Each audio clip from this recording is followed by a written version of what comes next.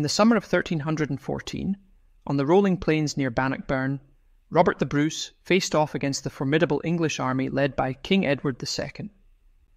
The ensuing battle would become a defining moment in Scotland's quest for independence, showcasing the determination and resilience of the Scottish people. But this epic confrontation was more than a fight for sovereignty. It was a turning point that influenced the movement and mingling of peoples across the land. How did the triumphs and trials of Bannockburn shape the genetic mosaic of modern Scotland? Join us as we journey through time to uncover the ancestral threads woven into Scotland's rich genetic heritage, tracing how historic events like this legendary battle have left an enduring imprint on the DNA of its people. The genetic origins of Scotland are a complex tapestry woven over thousands of years, marked by waves of migration, invasion, and cultural transformation.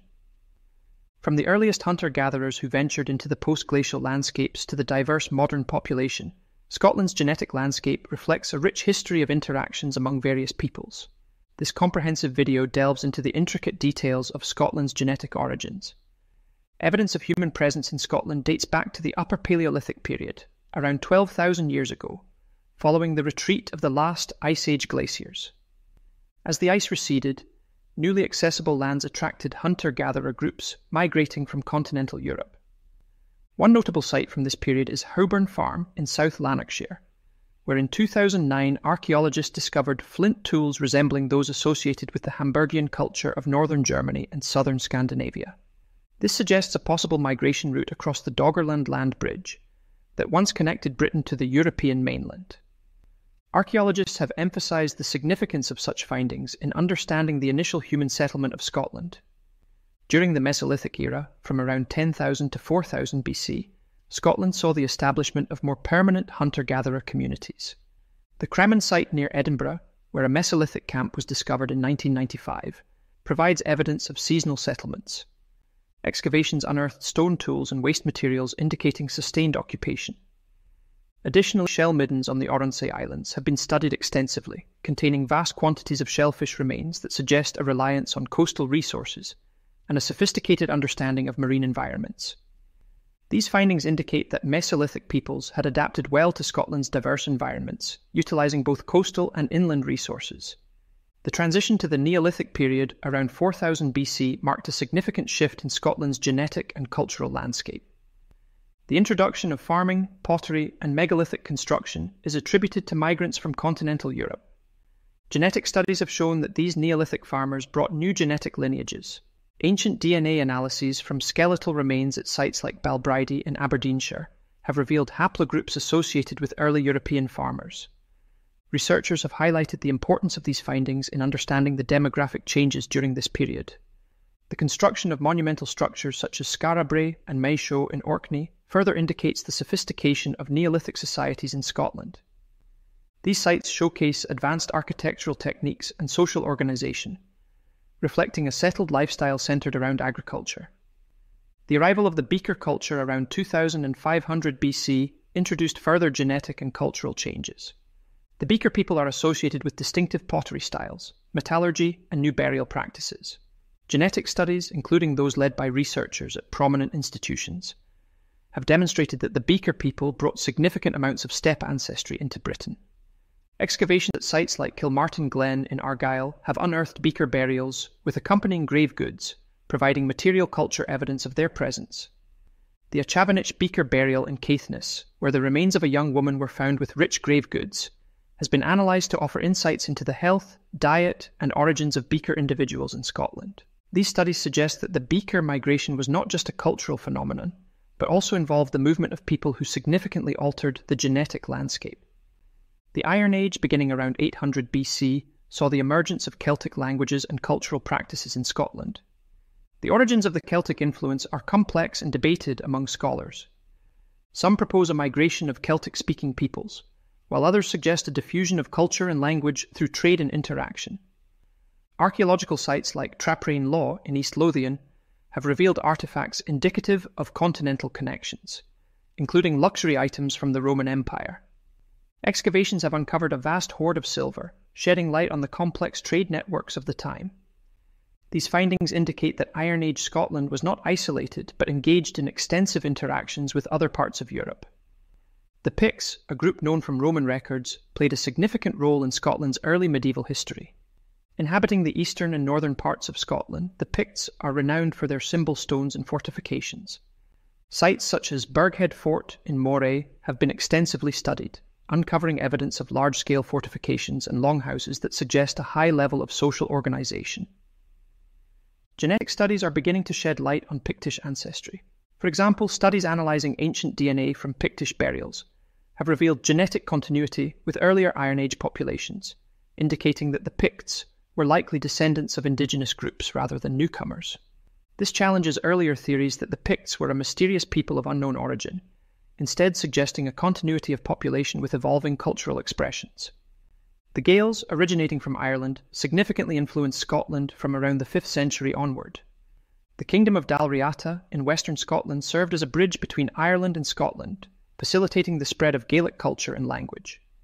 The founding of Iona Abbey by St. Columba in 563 AD established a centre for Christian learning and missionary activity. Archaeological work on Iona has uncovered early monastic structures and artefacts, indicating the site's importance in the religious and cultural transformation of the region.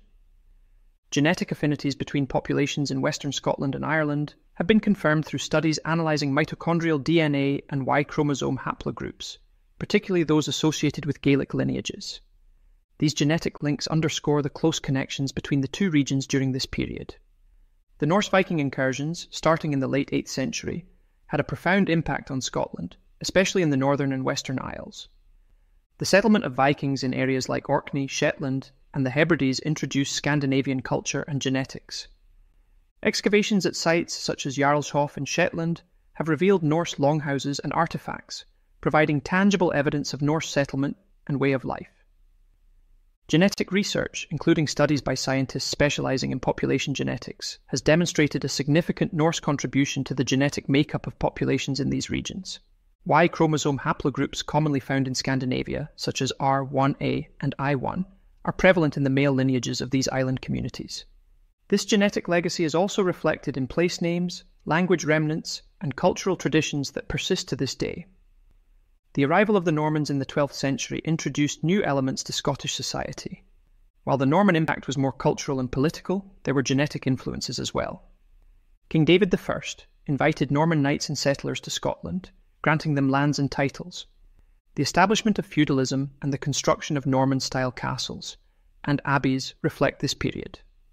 This period also saw the integration of Norman administrative practices and legal systems, contributing to the shaping of medieval Scottish society.